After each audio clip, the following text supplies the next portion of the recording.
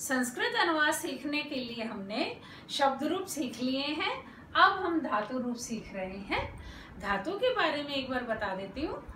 संस्कृत में क्रिया को धातु कहते हैं और धातु के रूप लकारों में चलते हैं। हिंदी और इंग्लिश के समान ही संस्कृत में तीन पुरुष होते हैं। ये पुरुष इस प्रकार से है। नंबर एक, प्रथम पुरुष जिसके विषय में कहा जाए, जैसे वह वे दो वे सब तथा सभी नाम। नंबर दो, मध्यम पुरुष, जैसे तुम युवाम यूयम, अर्थात तुम तुम दो और तुम सब उत्तम पुरुष, अहम आवाम वयम, मैं हम दो हम सब केवल संस्कृत में तीन वचन होते हैं बाकी हिंदी आदि में दो ही वचन होते हैं। संस्कृत में एक वचन, दिववचन और बहुवचन होते हैं। बच्चों, संस्कृत बहुत आसान है। कैसे?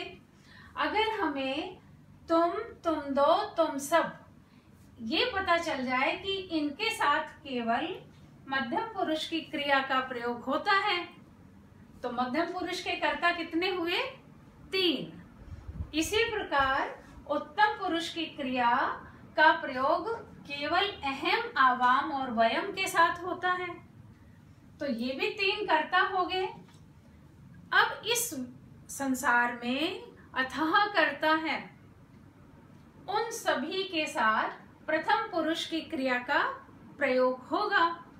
तो संस्कृत कितनी आसान है, आप देखो। जैसे एक शब्द होता है भवत। भवत मीन्स भी आप होता है। और जब हम किसी को आप कहते हैं, इसका अभिप्राय वो सुनने वाला है।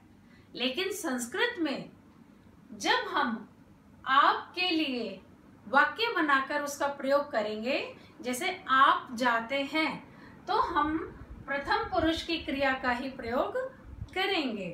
तो संस्कृत पुरुष के अनुसार भी आसान हुई। अब हम चलते हैं, अब हम बात करते हैं लकार की। सबसे पहले हम सीख रहे हैं वर्तमान काल। वर्तमान काल को संस्कृत में लट लकार कहते हैं। और ये धातु पठ धातु है और इसके रूप परस्मयी पद में चलते हैं। तो सबसे पहले हम पुरुष लिखेंगे। प्रथम पुरुष, मध्यम पुरुष, उत्तम पुरुष, फिर हमारे वचन, एक वचन दिववचन और बहुवचन।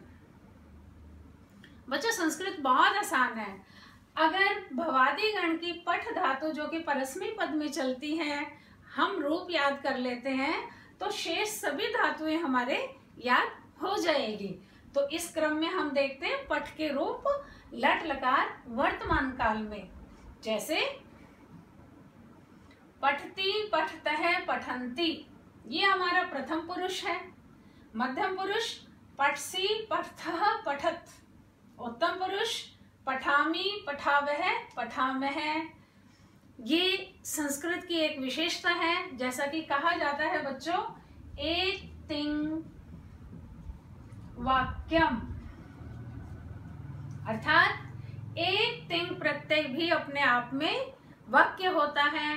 तिंग के विषय में आप जान ही गए हैं, हमने पहले पढ़ लिया है। तिंग वे प्रत्यय हैं जो धातुओं के पीछे लगते हैं। धातुओं के पीछे लगते हैं। कहाँ लगते हैं, ये याद रखना है। कहाँ लगते हैं? लकार रूप बनाते समय। कौन से रूप? लकार रूप बनाते समय धातु के पीछे जो प्रत्यय लगते हैं, वो तिंग। और ये तिंग प्रत्यय अपने आप में एक संपूर्ण वाक्य होता है। कैसे होता है, अभी हम सीखते हैं। जैसे हमने सीखा प्रथम पुरुष में पठ धातु चलती है पठती पठते है, पठंती। अब हम इन्हें कर्ता लगा करके सीखेंगे। एक वचन का कर्ता क्या है? सह। तो सह पठती तव पठत है ते पठंती। इन सह के स्थान पर तव ते के स्थान पर हम कोई भी नाम रख सकते हैं, जो कि हमारा प्रथम पुरुष का कर्ता हो। जैसे, छात्र है, पठती छात्रौ पठतः, छात्रः पठन्ति। बालकः पठति, बालकौ पठतः, बालकः पठन्ति इत्यादि।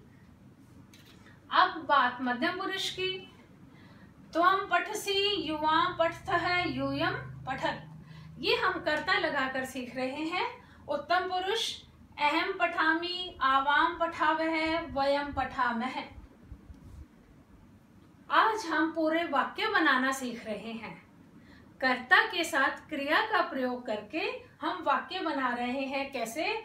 सह पठती, वह पढ़ता है तव पढ़ता है, वे दो पढ़ते हैं, ते पठंती, वे सभी पढ़ते हैं। तुम पठसी, तुम पढ़ते हो, युवा पठत, तुम दोनों पढ़ते हो योयम पठत, तुम सब पढ़ते हो। उत्तम पुरुष, अहम पठामी, मैं पढ़ता हूँ, आवाम पठावह, हम दोनों पढ़ते हैं, वयम पठामह, हम सभी पढ़ते हैं। इस प्रकार पठ धातु के समान ही अनेक धातु चलती है, जैसे गम धातु, जो कि गच्छ हो जाती है चार लकारों में, शेष भविष्य काल में गम ही रहती है। गच्छति गच्छत है गच्छन्ति गच्छसी गच्छत। गच्छामी गच्छावह गच्छामह ऐसे ही रक्ष धातु रक्षा करना अर्थ में। रक्षति रक्षत रक्षन्ति। रक्षसी रक्षत रक्षत। रक्षामी रक्षा वह रक्षा में है इसी प्रकार और भी है पच है, पथ है, खाद है, दृश्य धातु है जो कि पश्य बन जाती है चार लकारों में। कैसे? पश्यति, पश्यत है पश्यंती पश्यसी, पश्यथ है पश्यत। पश्यामी पश्यावह पश्याम। है अब हम देखते हैं एक तिंग वाक्य कैसे हुआ। अगर हम केवल पठती कहते हैं, इसका पूरा एक अर्थ है, वह पढ़ता है। पठामी कहते हैं तो इसका अर्थ होता है, मैं पढ़ती हूँ।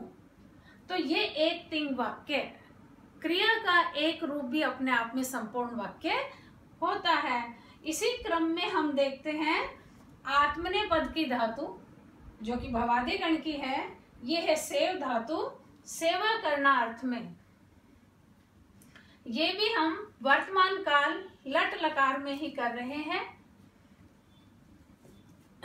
वही पुरुष है और वही ये तीनों पुरुष और वचन, एक वचन, द्विवचन, बहुवचन। सेवते सेवेते सेवंते सेव से सेवे थे सेवध्वे। सेवे सेवा वहे सेवा महे बच्चों, वही करता यहाँ प्रयुक्त होंगे। सह सेवते, वह सेवा करता है तव सेवेते, वे दोनों सेवा करते हैं, ते सेवंते वे सभी सेवा करते हैं। तुम सेव से तुम सेवा करते हो युवाम सेवे थे, तुम दोनों सेवा करते हो। यूयम सेवध्वे तुम सभी सेवा करते हो। अहम सेवे, मैं सेवा करता हूँ। आवाम सेवा वहे, हम दोनों सेवा करते हैं। वयम सेवा महे, हम सभी सेवा करते हैं। इसी प्रकार, सेव धातु के समान भी अनेक धातुएँ चलती हैं। ये आत्मनिपद है, जैसे मौद, प्रसन्न होना अर्थ में मोदते, मोदेते, मोदनते मोद से मोदे थे मोदध्वे, मोदे मोदा वहे मोदा महे इसी प्रकार वृद्ध धातु बढ़ना अर्थ में जो कि रूप चलाते समय वर्त बन, वर्ध बन जाती है, वर्ध। कैसे? वर्धते, वर्धेते, वर्धनते, वर्धसे, वर्धेथे, वर्धध्वे। वर्धे, वर्धावहे, वर्धामहे। इसी प्रकार और भी अनेक धातु हैं, जैसे वृत्त धातु है, होना अर्थ में। ये वर्त बन जाती है तो बच्चों, संस्कृत बहुत आसान है, देखिए, केवल ध और तय का अंतर है।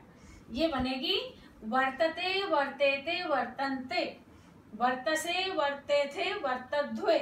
वर्ते वर्ता वहे वर्ता महे इस प्रकार हम क्रिया जो संस्कृत में धातु कहलाती है, वाक्य संरचना के लिए हम वर्तमान काल के रूप इस प्रकार से सीखते हैं और छोटे छोटे वाक्य बना करके हम ये सब आगे अच्छे प्रकार से बड़े वाक्यों का प्रयोग कर सकते हैं। जैसे एक सामान्य सा वाक्य दिया जाए, वह पुस्तक पढ़ता है।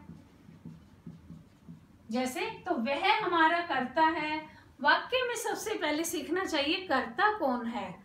वह, फिर उसके साथ किस क्रिया का संबंध है? वह पढ़ता है, ये हमारी क्रिया हो गई। पुस्तक को, ये हमारा कर्म हो गया। एक बार हम शब्द के रूप के बारे में वापस दोहरा लेते हैं। शब्द के रूप, शब्दों के रूप विभक्ति में चलते हैं, जो कि कारक चिन्हों को इंगित करते हैं। कारक चिन्हों के अनुसार चलते जैसे कर्ता ने कर्म को करण से के द्वारा, संप्रदान के लिए अपादान से पृथक, संबंध काके की अधिकरण में पर, और संबोधन प्रथमा के समान होता है। तो यहाँ हम देखते हैं पुस्तक को। ये हमारी द्वितीय विभक्ति, सह पुस्तकम। अब बताइए हम कहा से लेंगे? पठती। अभी हमारे आ जाता है, छात्र पुस्तक पढ़ता है। हम छात्र हैं, पुस्तकम पठती। तो ये हम जैसे जैसे धातु के रूप याद करेंगे, हमारे अनुवाद भी उतने ही पक्के होंगे और अच्छे से आएँगे। जैसे, मैं रक्षा करता हूँ।